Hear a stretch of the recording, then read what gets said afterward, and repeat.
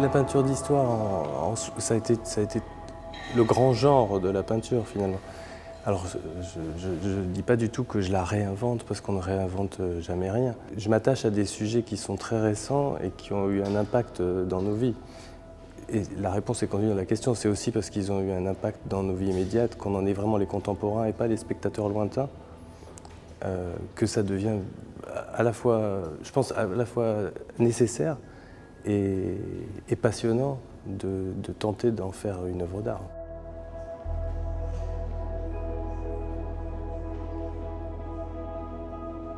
Le journalisme ou la, photojournalisme, l'actualité, etc., procède d'un temps donné et n'a pas vocation à faire œuvre.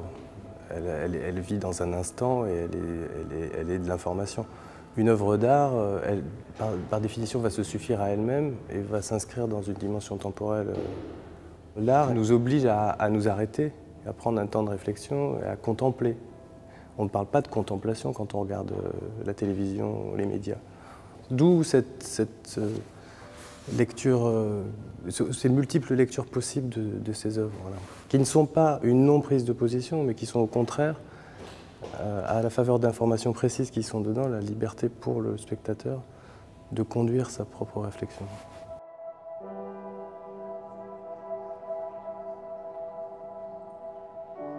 Il s'agissait d'abord de donner littéralement de la taille pour coller finalement à la grandeur de l'événement, tout simplement. Ce qui est une tradition très ancienne. Un grand tableau parle d'un. Un grand tableau a forcément une, un écho plus, plus, plus, grand, justement, qu'une petite toile. Vous n'allez pas parler de révolution en faisant des petites toiles.